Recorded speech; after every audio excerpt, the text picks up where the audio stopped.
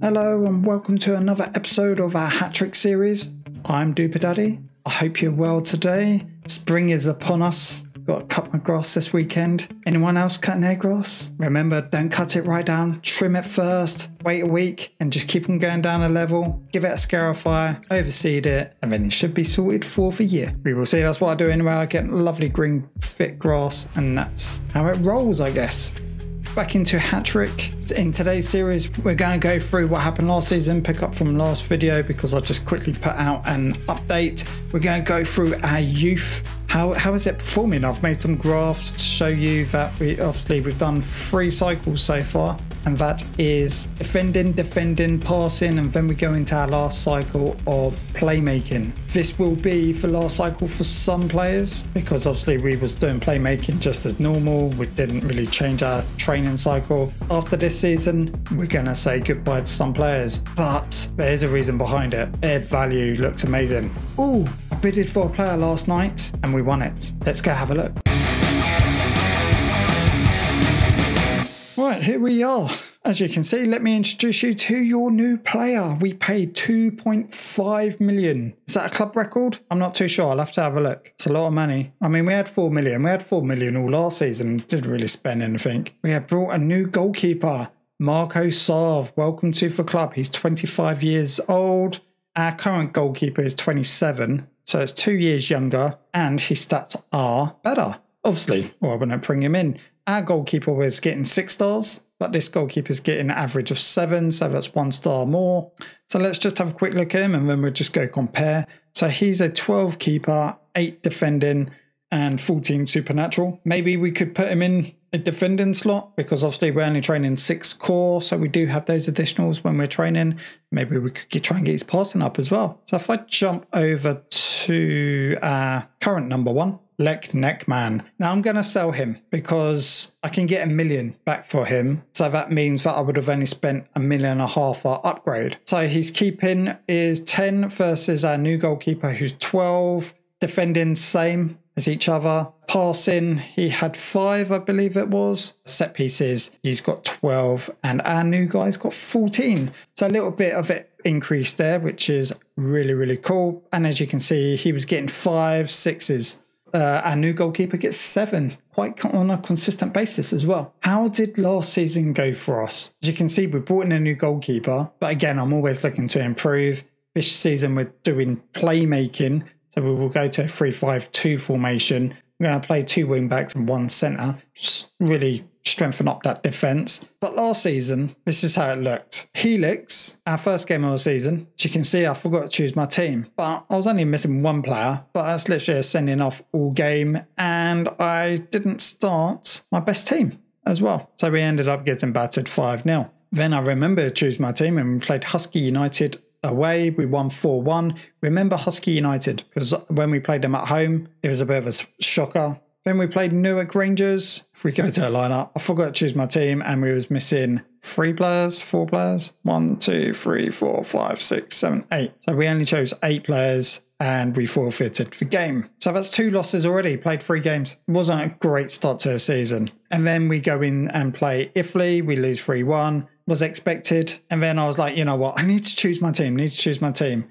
We then played Derby, who's probably a bot team 9 0, Best City bot team 6 0. Then we played Selhurst. I think Selhurst got relegated last season, pulled out a 2 all draw. Some strange reason. I think it was in the last video. I was saying, oh, I'm disappointed we should have won that. I think in my mindset is that the only team I should have lost against is Iffley. But actually, Selhurst has actually got a good team. We then played at our home and we beat them 2 0. Then we played for the Best City, Derby, won that, lost to Iffley. Always going to be a case. Iffley didn't even lose a game all season. They've been building and building. I don't know. When is it going to be where I'm not in a transition phase anymore? You Obviously, you still want to do your training cycle, but when is it going to stop? I guess when I'm happy with my first team. I'm nearly there. I think now that I brought in that goalkeeper, maybe because I've now playing playmaking, my wingers are weak. And I was thinking maybe I could bring in two million pound players and then sell them at the end of the season. They would have got a bit of playmaking training. So maybe they would have held their value. We'll look at values of players in a minute because the way I'm doing things, at the moment, we're pretty profitable. I don't know about any of you who play this game inside out and know few secrets. Let me know. But I think we're doing all right. As a casual player, I think we're doing all right. And I'm enjoying it. I'm still enjoying it. And I think if, if Lee's got promoted, I think it's going to be between me and Selhurst to win the league next season. But we'll have a look at that in a minute. And then we beat Newark Rangers 4 1. I think Newark Rangers are Helix is a goner. And then we've uh, we drew against Husky United at home. I was shocked. I was like, how? I chose my team, all chosen. No disrespect to Husky, but we drew against them. We had 10 chances to their two. So I'm not too sure how we drew that. And we held possession 75% each half. And then we beat Helix at Helix 4 0. Cups, uh, we didn't do too well with Cups, but I never, I never try. Never gonna win it. So there's no point in my eyes. Maybe if I'm in Division 2, Division 1, then obviously that's a outlook, right? But that's when you've got to have some strong team. So here's last season. We came third again, exact same as last season, a point above Newark Rangers and two points behind Selhurst. If we chose those teams and we won those games, that was six points. And that would have obviously got us sec- second, clearly as well. That would have put us on 32 points. Top scorers, Sanon, our new striker, our star striker for us. He gets 13 goals. He didn't get top goal scorer.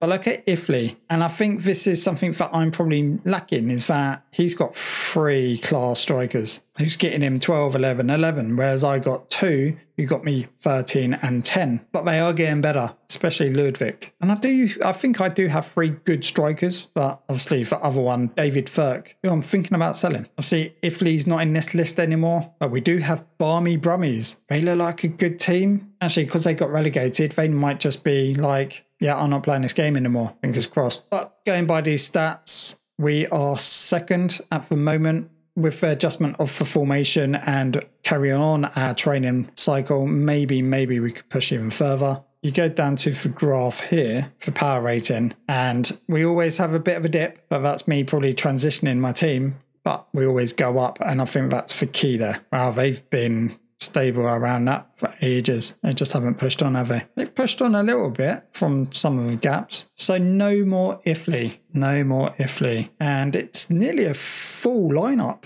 of actual human players. Just one bot team there. If you want to join my league, if you never played this, come and join. Actually, probably not Division 5. Try and hope get Division 6. I joined not picking a league, but I joined by just setting up a new team. Uh, and I got relegated straight away, won Division 6 and went up, and that's it. I've been in Division 5 ever since. We are constructing our stadium again. I always look at this every uh, end of every season.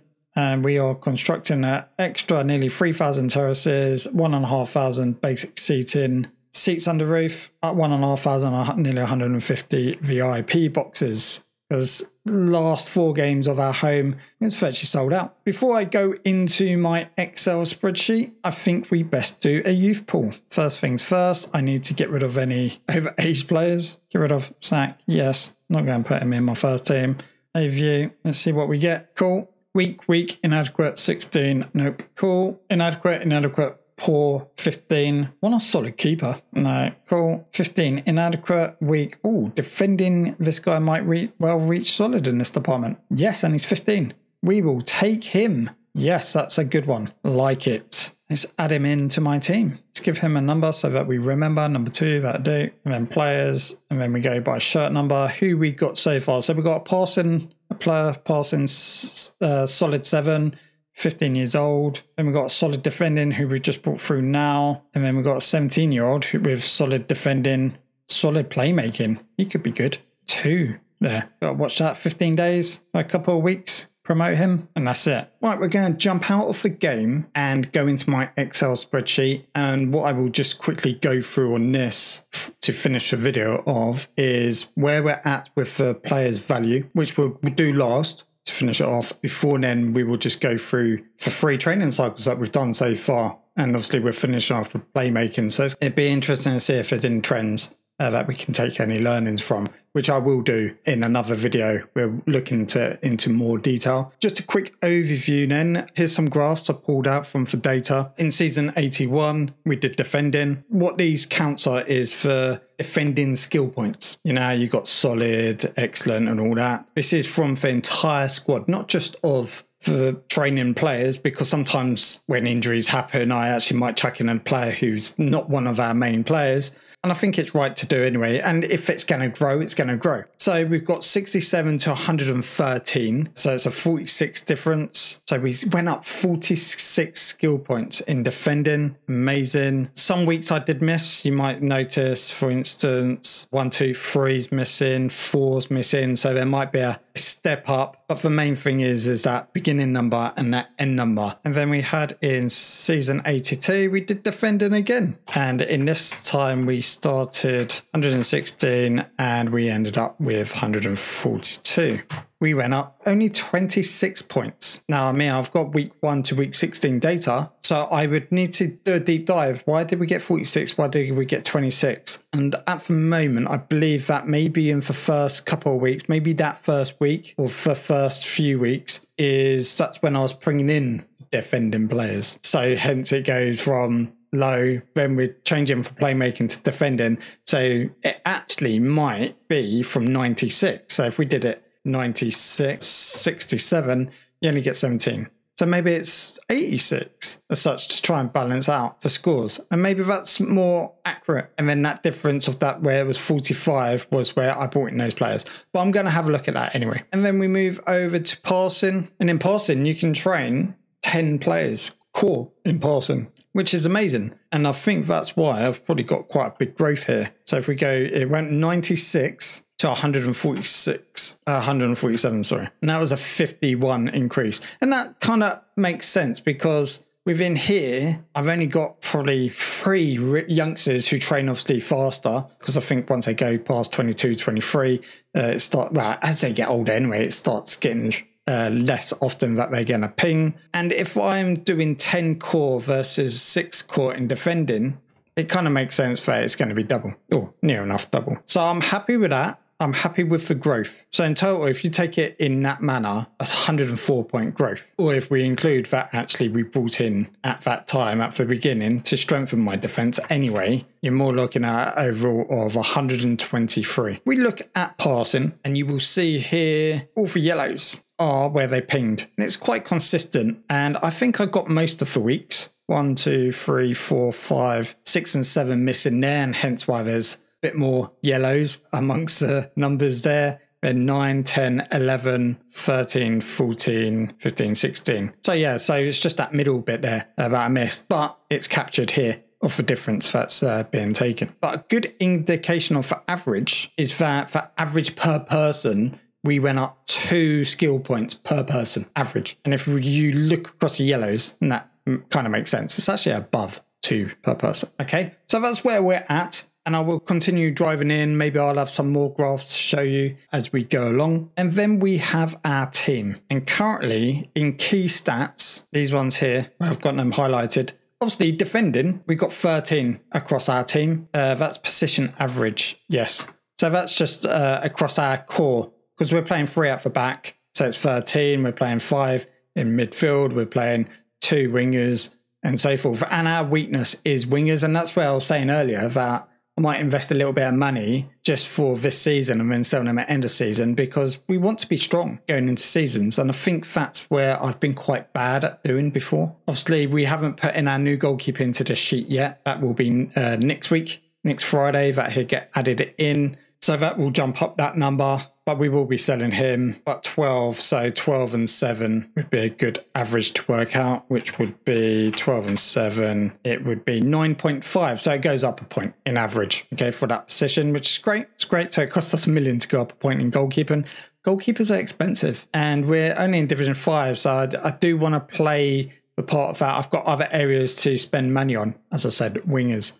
I took this data for other day when I was updating the sheet, so Friday. And what this means is this is a brought value, and this is what the median value is. I always go by median. Don't know why. It seems to be the more realistic one when I'm buying players, and when I'm selling players, they tend to sell for this price or more. So it's a good starting point. And that's when I look at players as well. I do transfer compare. And if people are asking for more than the median, uh, there's just no point in me putting a bid, to be fair. But as you can see, if I I bought this squad for 13 million. If I sold this squad in today's market, I would get 27.6 million. That's a difference of 14.3 million. So all that improvements that we're getting into our team, which again, that's where something I want to show. But I did show you for power rating where we're going up, it goes down. Where we do transition of for training cycle, it goes down and then goes back up. But there's growth there. And I do want to pull off my own graph to show growth. But this is that we've improved our team by not spending that much money. But actually, if you think about it, we haven't spent any money because our team is in profit of those improvements. I bought that team 13 million. I can sell it now for 27.6 million. So we've got good growth, 14 million profit. Now there is some ups and downs to the for numbers behind this. We'll go through for negatives first. They are kind of negatives and they're kind of not because Zanon and Thurk was never brought in. Yeah, and if I go Lekman as well, because they're for key big numbers there.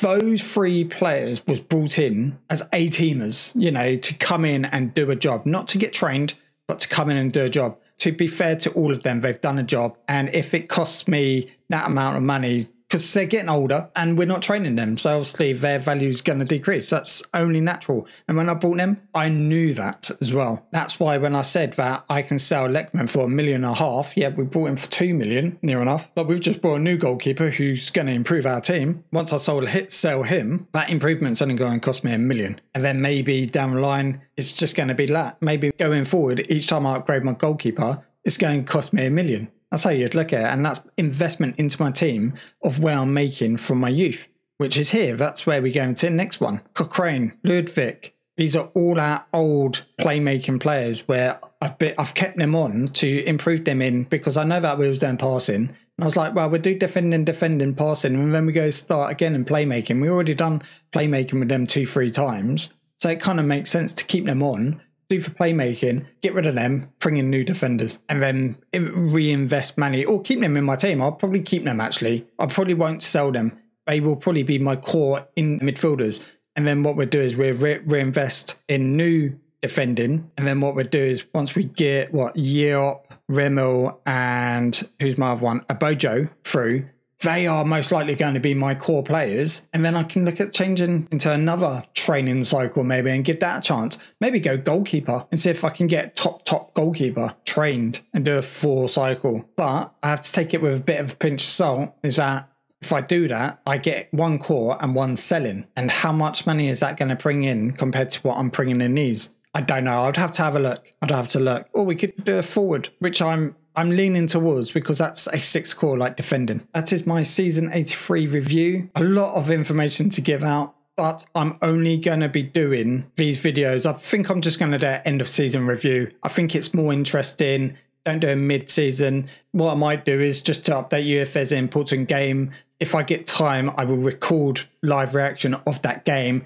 and release it as a short. Maybe that's probably a better thing. Or if there's an update, I might sign a player. I might do a short of it of why I've bought that player. But we'll see. You know what to do. Give this video a like so it goes out to the world. And if you want to see more, hit that subscribe button. Have a good day. See you soon.